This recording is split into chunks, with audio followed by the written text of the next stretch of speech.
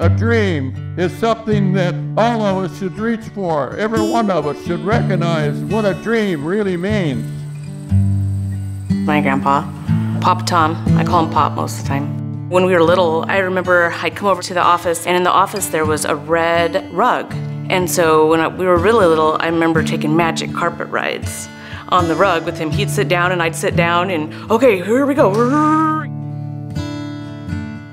Our dad instilled in us a healthy respect of work and what work meant and how it was important to work and, and uh, physically work and to get it done and get it done properly. And we learned that from our dad and his dad, our grandfather.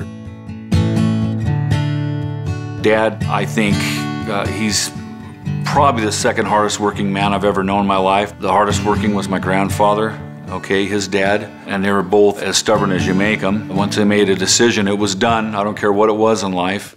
Granddaddy said you gotta work that land and put some footprints in the field.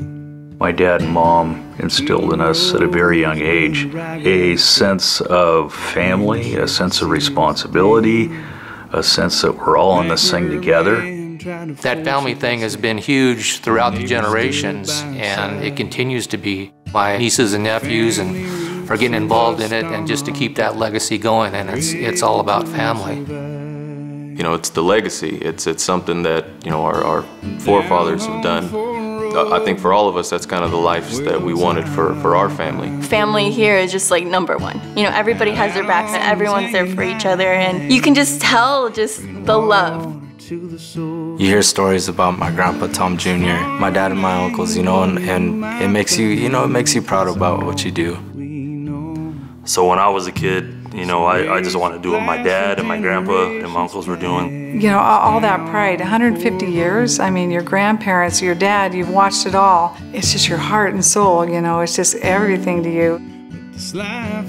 There's a lot of people, older people especially, that used to work here. And they'll tell us stories, you know, they'll be talking about how he was so hard on them during that time, but how much they've grown in that period of time. But that work ethic and that, you know, never give up attitude, I think served everybody well as, as we've, we've gotten older and hopefully we're imparting those same values onto the younger generation.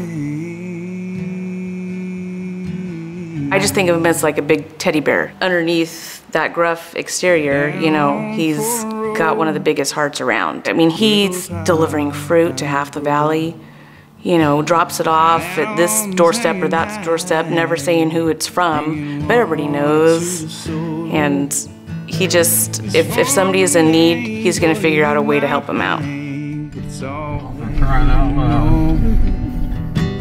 So raise your glass for generations past down for road. I've done my job.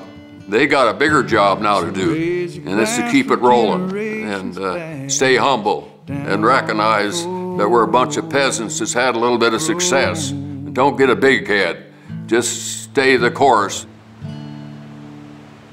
A dream is a combination of expectation that dream is what makes us tick, and we do not ever want to lose sight of what causes it. But you got to dream. You got to dream, and you got to believe in your dream, and reach out to your friends and your neighbors.